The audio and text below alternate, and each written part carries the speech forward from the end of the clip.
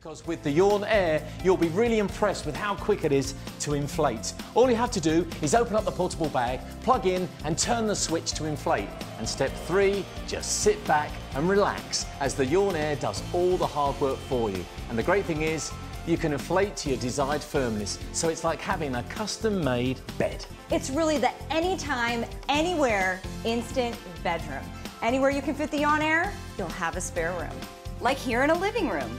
How about turning that home office into an instant bedroom?